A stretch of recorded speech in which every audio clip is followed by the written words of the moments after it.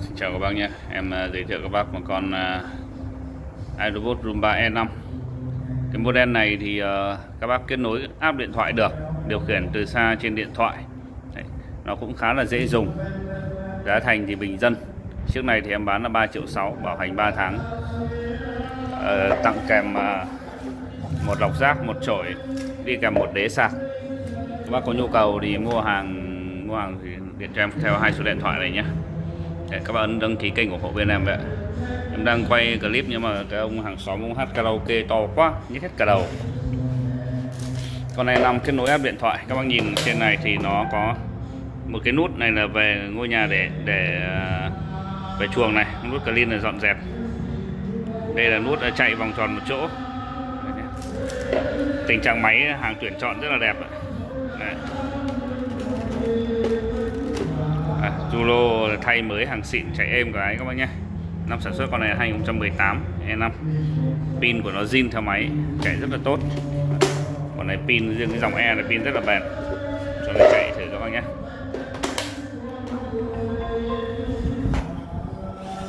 Chạy vòng tròn một chỗ để hút bụi à, vòng quanh một chỗ.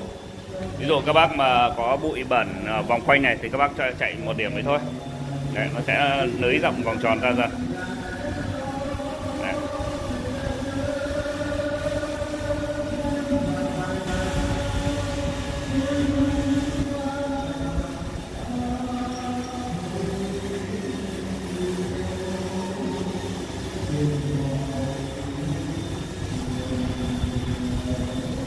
Lấy rộng vòng tròn này.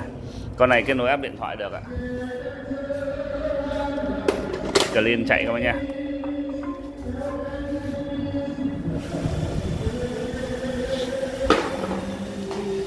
Dòng E5 này kết nối áp cái dòng này khá là bền vì pin cũng tốt pin dòng này rất là tốt khỏe. Còn mà chạy nó sẽ bám sát Đấy, bám sát các cái thành góc cạnh nó cái cái khung này mình tưởng tượng như nó là cái à, bức tường ấy thì nó sẽ chạy nó bám sát ở đây Đấy, bám sát góc cạnh này. chiếc này bán là 3 triệu 6 nhé bảo hành 3 tháng. Các bạn có nhu cầu uh, mua ủng hộ cái này.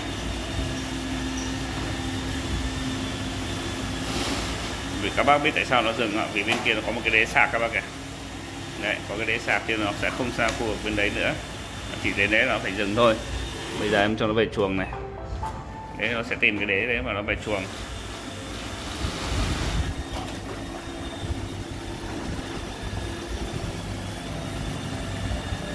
Cho nên mình chạy thì nó chạy, nó chỉ chạy quanh khu vực này thôi. Nó không sang bên đấy được vì nó, cái đấy em để cái đấy sang.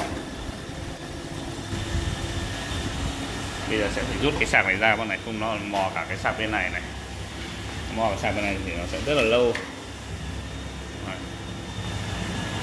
Hết pin thì máy tự về sạc. Cảm biến chống rơi cầu thang. À đây, để test cảm biến chống rơi cầu thang cho các bác luôn trên cái bàn này nhé. Test cảm biến chống rơi cầu thang trên cái bàn này luôn này. Tí cho về, cho nó về chuồng thì gọi là test cảm biến chống rơi cầu thang nhé.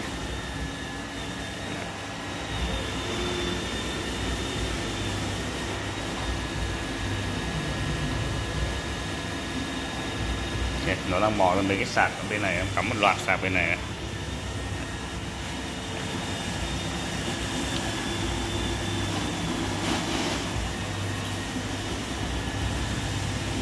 Đang về sạc.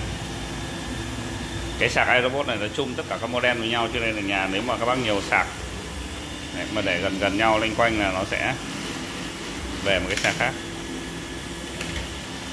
Chưa đúng vị trí là nó lại không vào.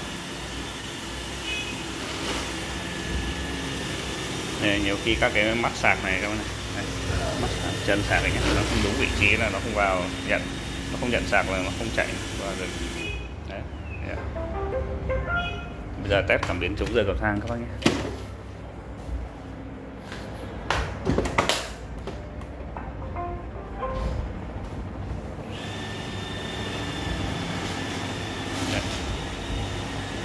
Yeah, cảm biến chống rơi cầu thang.